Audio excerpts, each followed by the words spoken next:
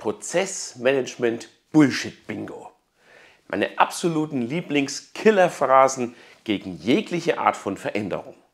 Liebevoll zusammengetragen aus den verschiedensten Projekten, in denen ich involviert war.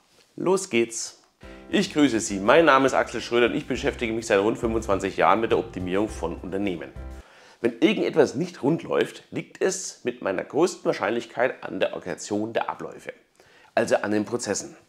Aber statt sich dem Problem zu stellen und die Abläufe mit Prozessmanagement zu verbessern und in den Griff zu bekommen, bekomme ich immer wieder wunderbare Killerphrasen an den Kopf geworfen. Die schönsten habe ich in diesem Video für Sie zusammengetragen. Wir haben keine Prozesse, sondern nur Projekte. Aha. Und wie man so ein Projekt aufgleist und managt, das ist kein Prozess.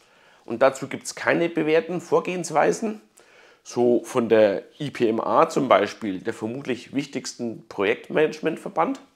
Ach, und Buchhaltung oder Auftragsakquise wie Anfrage aufnehmen, Angebot legen, Vertrag verhandeln, Auftrag gewinnen, das sind auch keine Prozesse. Alles klar.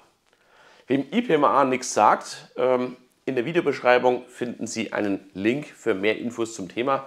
Ähm, Im Bereich Projektmanagement sicherlich mal ähm, gut zum Reinschauen. Das haben wir schon immer so gemacht. Ein Klassiker. Deswegen ist das Ergebnis und die Effizienz des Prozesses schon immer so, wie sie eben ist. Manchmal kacke, manchmal ausbaufähig. Übrigens, wie ist sie denn die Effizienz von dem Prozess? Das kann man nicht messen. Oh, es gibt keine Möglichkeit, das Ergebnis des Prozesses oder das Verhältnis von Aufwand zu Nutzen wahrzunehmen oder zu beobachten. Nicht mal mit einfachen statistischen Stichproben? Das muss wahre Magie sein, die hier passiert. Zum Thema Messen habe ich übrigens hier ein nettes Video. Für diejenigen, die sich vielleicht doch mal mit Fakten statt mit Bauchgefühl beschäftigen wollen. Wir müssen erst warten, bis XYZ eingeführt ist. Ersetze XYZ durch den Namen irgendeiner beliebigen Software. Es wird immer irgendeine Software eingeführt. Und wenn man darauf warten wollte, seinen Prozess zu verbessern, bis es keine Software-Einführung mehr gibt, werden Sie sie nicht mehr brauchen weil die Firma dann tot ist. Außerdem sollte der Prozess die Software bestimmen und nicht andersrum. Nur mal so als Idee. Bei uns läuft es aber ganz anders. Sie haben ja gar keine Ahnung. Alles individuell. Klar. Sie sind die einzige Bäckerei, Schreinerei, Maschinenbaufirma, Marketingagentur, Glaswanne, Eisenerzmine, Reederei, Softwarebude, Automobilindustrie, Ingenieurbüro. Denken Sie sich irgendwas aus? Auf diesem wunderbaren Planeten und damit auch völlig unvergleichliche Prozesse. Wir haben nicht genug Kapazitäten. Aber sie verheizen täglich ihre wertvollen Mitarbeiter, um zum Beispiel eine offene Postenliste nicht nur in der Buchhaltungssoftware, sondern zusätzlich in Excel zu führen. Sie lassen euch Anfragen von eurer Internetseite als E-Mail schicken, um sie dann in der Warenwirtschaft neu abzutippen. Sie haben keine Ahnung von der tatsächlichen Auslastung Ihrer Maschinen, aber bestellen eine neue CNC-Frässtation. Durchlaufzeiten von Büroprozessen sind egal, solange man noch eine einzige Sekunde Rüstzeit aus der Fertigung rausquetschen kann. Echt jetzt? Haben wir schon probiert, klappt nicht. Edison soll mal gesagt haben, er wüsste jetzt 10.000 Wege, wie eine Glühbirne nicht funktioniert. Wie sehr haben Sie sich wirklich bei dem Versuch bemüht? Wie oft haben Sie es probiert? Oder wann haben sie auch aufgegeben? Das geht nicht. Eigentlich dürfte eine Hummel nicht fliegen können. Dummerweise weiß sie das nicht. Vielleicht wäre der bessere Satz, wir wissen noch nicht, wie es geht, aber wir wollen es rausfinden. Ist das mit XY abgestimmt? Ersetze XY mit dem Namen irgendeiner realen oder fiktiven Person. Sie haben richtig gehört.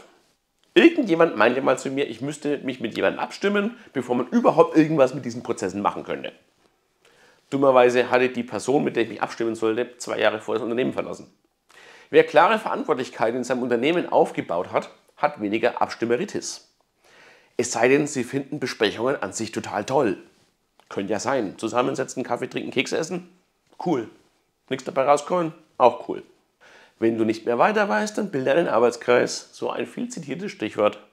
Das ist nicht agile. Kollege, es gibt kaum ein formalisierteres und standardisierteres Vorgehen als Scrum und agiles Arbeiten. Da ist exakt festgelegt, ja, wie viele Story Points in einem Sprint abgearbeitet werden, wann welche Meetings stattfinden und was geliefert wird. Agile ist eben nicht planlos und chaotisch, wie die Mehrzahl der Firmen, die ich gesehen habe und sich selbst als Agile bezeichnet haben. Die hatten schlicht und ergreifend nichts im Griff und bezeichneten das als Agile. Agiles Vorgehen ist weder ständiges Firefighting oder Management bei Bauchgefühl.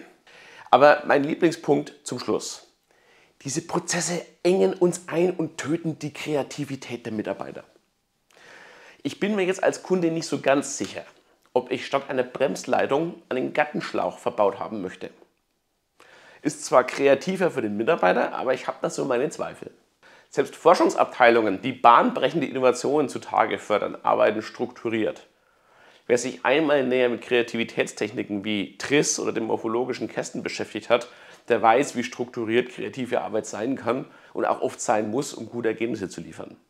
Und in der überwiegenden Mehrzahl der Fälle will Ihr Kunde ein qualitativ hochwertiges Produkt. Es ist ihm eigentlich ziemlich egal, welcher Ihrer Mitarbeiter das Produkt erstellt hat. Er erwartet einen personenunabhängig stabilen Prozess. Denken Sie doch mal aus Sicht des Kunden drüber nach. Wann ist es Ihnen wirklich wichtig, ob Herr Meier oder Frau Schmidt höchstpersönlich den Lack auf Ihr Auto aufgetragen haben, vielleicht auch den Sessel eingebaut haben oder wollen Sie einfach nur, dass es cool ausschaut? Na, welche Killerphrasen fällen Ihnen denn ein? Schreiben Sie es mir doch mal gerne in die Kommentare, dann haben auch alle anderen was davon. Und ich plane jetzt noch Videos zum Thema Lean Leadership, daher lohnt sich auf jeden Fall, wenn Sie jetzt den Kanal abonnieren. Sonst verpassen Sie womöglich äh, die Videos zu allen möglichen Themen rund um Prozessmanagement, Lean Management und kontinuierliche Verbesserung. Wir sehen uns im nächsten Video. Herzlichst, Ihr Axel Schröder.